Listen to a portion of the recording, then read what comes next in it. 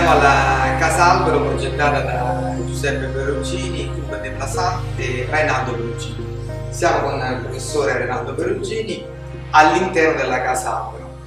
E siamo qui perché il professore diciamo, ci ha consentito di realizzare all'interno di questa architettura installazioni di dissonanze urbane. Quindi, oltre a ringraziarlo, volevo, gli volevo chiedere se diciamo, l'installazione in qualche modo si è legata alla... Sì, infatti è stata una cosa molto interessante tutto sommato, perché eh, la casa eh, è stata usata in vari modi, cioè eh, sono state girate delle, delle scene di, di, di, film, di video, Karl Lagerfeld vi ha ambientato anni fa un catalogo di Fendi, quindi è, è abbastanza pubblicizzata però il passaggio nel dialogo con l'opera artistica ancora mancava. Quindi diciamo che l'intervento di Giuseppe Voltaggio sotto certi punti di vista apre una nuova stagione.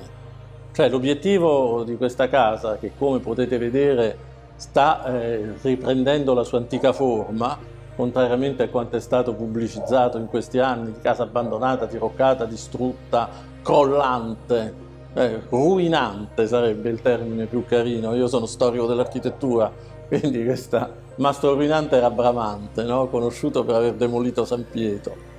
E, e allora il, questo, questo passaggio verso le opere d'arte può essere un'apertura di un futuro del, della vita di questa casa, perché oltre a usarla per viverci, per farci, come dicevamo prima, fuori onda le grigliate di pesce con gli amici, questa casa può essere usata, utilizzata per degli eventi. E cosa c'è di più interessante che gli eventi culturali? Tra l'altro lo spazio, quando sarà arredato, quando sarà riarredato, perché ho dovuto togliere tutto per far sfuggire ai vandalismi le poche cose rimaste, e, ehm, però l'integrazione con eh, l'evento artistico con l'installazione d'arte, secondo me è uno dei dialoghi più interessanti per questa casa.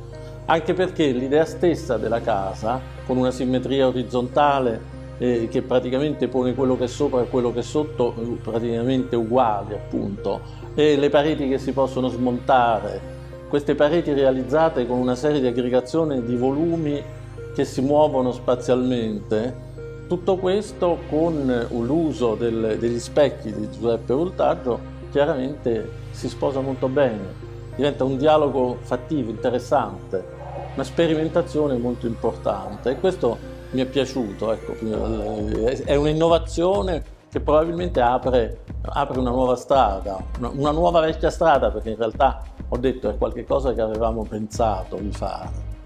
Però ecco, L'idea degli specchi, tra l'altro stavo dicendo sempre in, breve fuori onda che mio padre aveva immaginato di aggiungere degli specchi all'interno della casa per aumentare questo effetto che poi all'esterno si vede nella vasca, nella vasca piscina che sta sotto, cioè questo gioco di, di rifrazione e di riflessione.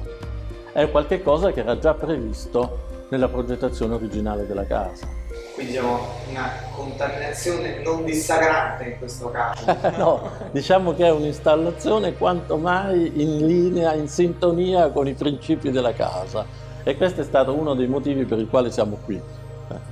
Me l'hanno chieste tante volte, non è che ho avuto parecchie richieste di, di, di installazioni, di cose, però siccome non mi soddisfacevano, ho detto aspettate, aspettate, aspettate e invece quella di Giuseppe mi è piaciuta e per questo ho consentito con gran piacere a farlo accedere e giocare con la casa, questo era il nostro giocattolo di famiglia, quindi l'ho invitato a giocare con noi.